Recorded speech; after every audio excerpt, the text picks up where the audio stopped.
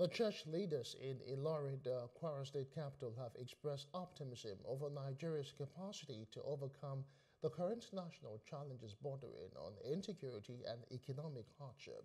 The leaders who disclosed this during the Easter service messages across various churches also called on the political class to be service-driven in delivering good governance to the people as a way of expressing love as exemplified by Jesus Christ.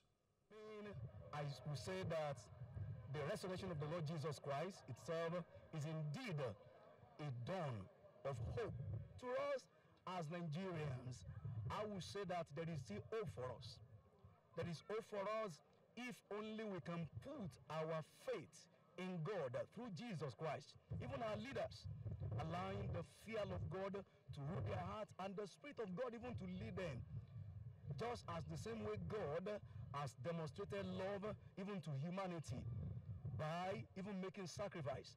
Our leaders, having the fear of God in their hearts, can also even demonstrate love, even for the masses, by allowing the fear of God ruling their hearts and taking care of them. But to the Nigerians, I will say there is still a hope. This is not the first time Nigeria will express, experience hardship. So, as a child of God, what I will suggest to the leadership is to turn their hearts to God. In periods of hardship, you turn to God, the maker of heaven and earth, and seek his face, and return to him from evil, wickedness, ungodliness, whatever names they are called, which you know is contrary to him. You know that God will accept you because Christ came for the forgiveness of our sins. Actually, our experience may not be also far from some of the sins we have committed. So we should repent of our sins. We and our leaders, or our leaders and we ourselves, and expect God to receive us as He has promised us in Second Corinthians that He will be merciful unto us and He will also heal our land.